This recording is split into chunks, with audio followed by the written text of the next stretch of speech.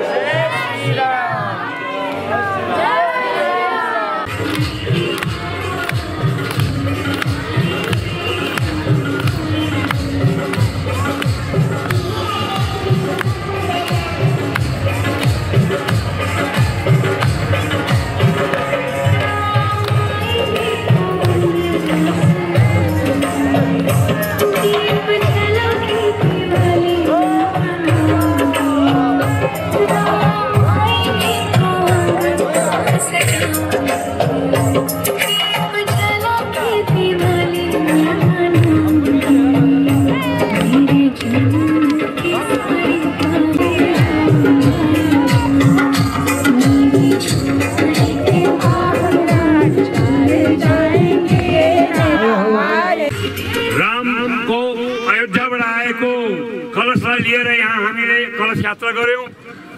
अब हामी यहाँ सबै भेला भएर माथि महाकालमा जान्छौँ।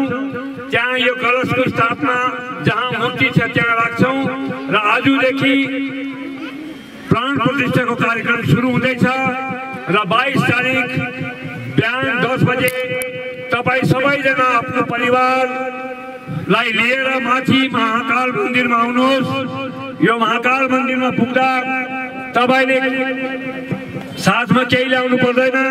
सबै शरीर प्रस्तुत हुनुहोस् र अयोध्याको जुन चाहिँ समयअनुसार बाह्र बजेर बत्तिस मिनटमा हामीले श्रीराम बाल स्वरूप मूर्तिको प्राण प्रतिष्ठा गर्छौँ। र त्यस बेलासम्म सबैजना पुगिहाल्नुहोस् सबै परिवारलाई लिएर आउनुहोस् र आफ्नो आफ्नो घरमा बेलुकी कम से कम पाँच दियो अवश्य बाल्नुहोस्। घरलाई दोकानलाई जन्त बनाउनुहोस्। जस्तो कि हाम्रो सम्पूर्ण भारतवर्षमा यो कार्यक्रम चलिरहेको छ। र अब हामी महाकालपट्टि प्रस्थान गर्छौँ। सबैजना क्रमबद्धले हामी माथि महाकालमा पुगौँ। जय श्रीराम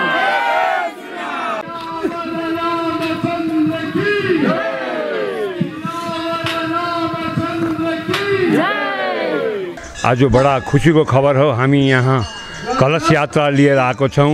यो कलश यात्राको मुख्य उद्देश्य के हो भने यो कलश अयोध्याबाट अस्ति चौबिस दिसम्बरमा आएको थियो र चौबिस तारिक सत्र दिसम्बरमा हामीले लिएर आएको थियौँ। यो अक्षर चाहिँ अयोध्याबाट आएको थियो। त्यो कलश हामीले दार्जिलिङको विभिन्न स्थानमा विभिन्न मन्दिरहरूमा घुमाएर त्यहाँ सबै दर्शन गराएर पुरा पाहाडमा हामीले पुनः यो कलशलाई चाहिँ आज हामीले यहाँ राम मन्दिरको यो प्राङ्गणमा प्राङ्गणमा अलिकति यो स्थापित हामी यहाँ यो रामको जुन चाहिँ देख्नुहुन्छ यहाँ स्थापित हुन्छ। यहाँ यो मूर्ति छ यसको प्राण प्रतिष्ठा हामीले बाइस तारिक गर्छौँ। र बाइस तारिक मेरो सबै भक्तजनलाई अनुरोध छ कि त्यो बाइस तारिकमा आफ्नो आफ्नो घरबाट आउनुहोस् परिवार ल्याउनुहोस् र यो ऐतिहासिक क्षणलाई को बेलामा तपाईँहरूले आएर रामजीको बाल स्वरूपको दर्शन गर्नुहोस्। जसरी अयोध्यामा राम को मूर्तिको स्थापना हुँदैछ बाल स्वरूपको त्यसरी नै हामीले पनि यहाँ कोसिस गरेको छौँ यो शुभ दिनमा शुभ बेलामा शुभ मुहुर्तमा हामीले यो मूर्तिको स्थापना गर्छौँ। त्यसो भने दस बजे पूजा सुरु हुन्छ र यो सोमबार बाइस तारिक ठिक बाह्र बजेर बत्तिस मिनटमा श्रीराम लल्लाको बाल स्वरूपको प्राण प्रतिष्ठा भइहाल्छ। र म फेरि यो एउटा अझै विशेष अनुरोध के गर्छु भने आफ्नो आफ्नो घरमा सबैजनाले कमसेकम पाँच पाँचवटा दियो चाहिँ अवश्य बाल्नुहोस् दोकानमा घरमा र घरलाई सजाउनुहोस्। यो दिवाली जस्तो मनाउनुहोस्। किनभने यो राम मन्दिर जुन चाहिँ आज प्राण प्रतिष्ठा हुँदैछ यो राम मन्दिरलाई हामीलाई फेरि पाउनुको लागि पाँच सौ वर्षको लामो अवधि हामीले झेल्यौँ। र कतिजना शहीद भयो कतिजनाले प्राण गुमायौँ। र आज बडा भाग्यको कुरा हो कि आज हामी यो यो पिँढीले यो यस्तो शुभ बेला हेर्नु पाउँदैछौँ। ल पुनः म नमस्कार गर्दै भन्छु। तपाईँहरूले एकाउन्न हजार बत्ती बाल्ने जुन चाहिँ कुरा गर्नुभएको छ कति होइन यो हामीले गरेको होइन यो एकाउन्न हजार बत्ती बाल्ने हाम्रो होइन तर यो प्राङ्गणमा हाम्रो महाकाल पूजा कमिटी दार्जिलिङ वेलफेयर सोसाइटीले गर्नुभएको छ र बडा खुसीको खबर यो एउटा ऐतिहासिक पल छ। उहाँले एक्काइस एकाउन्न हजार दियो बाल्नु हुँदैछ यो। आज आजको समयमा बडा ठुलो कुरा हो। र उहाँ यो पूजा कमिटीले गर्नुहुँदैछ। हामी सबै उहाँको साथमा छौँ। हामी सबै हिन्दू हौँ सनातनी हौँ र हामीले सबैले यसको आनन्द लिनुपर्छ। यो उहाँको एउटा यो एउटा राम्रो प्रयास हो र हामीले सबैले उहाँको साथ दिनुपर्छ। जुन चाहिँ मन्दिरको यो मूर्ति स्थापना भइरहेछ त्यसमा यदि कसैले डोनेटहरू गर्नु चाह्यो चाहिँ कहाँ सम्पर्क यो सबैले यो मूर्तिमा जुन चाहिँ डोनेसन गर्नुहुन्छ या हामीले मन्दिर यो बनाए तपाईँहरू देख्नुहुँदैछ। यसमा गर्नुहुन्छ मलाई नै भेट्नुपर्छ किन मेरोमै यो सबै व्यवस्था छ सबै बुकहरू सबै मैले राखेको छु। र त्यसमा म फोन नम्बर छ फोन नम्बर त्यहाँ भन्नु भएन भनिदिनु?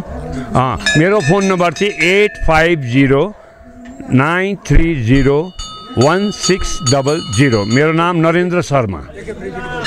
Eight five zero nine three zero one six double zero सबैले आफ्नो आफ्नो योगदान दिनुहोस् किनभने यो जुन चाहिँ मूर्तिको स्थापना गर्दैछौँ यसमा सबैको अलिअलि थोपा थोपा पनि यो सहयोग भयो भने भविष्यमा आउने समयमा हामीले याद गर्छौँ अयोध्याको बेलामा जुन मूर्ति राख्यो सेम त्यही बेलामा हामीले पनि यहाँ मूर्तिको स्थापना गरेको छौँ यो डेट कहिले पनि बिर्सनु सक्दैन हामीले यो दार्जिलिङको पहाडको लागि एउटा भाग्यको कुरा हो.